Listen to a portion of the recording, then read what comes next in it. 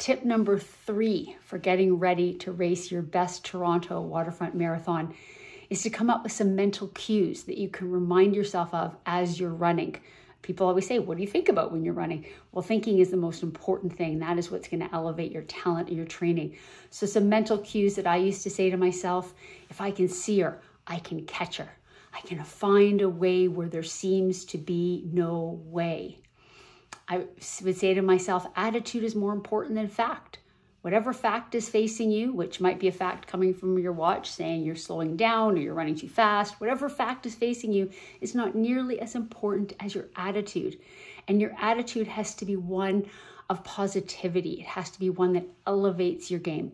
The fact is, you might have gone into this race with a bit of an injury, a bit of a niggle. Your attitude has to be I'm going to be the best person on that start line with a niggle or with a cold or whatever it happens to be. And one of my favorite mental cues was finish what you start and do it with heart. Heart is the essence of everything. If you want to do something, you will do it. Finish what you start do it with heart.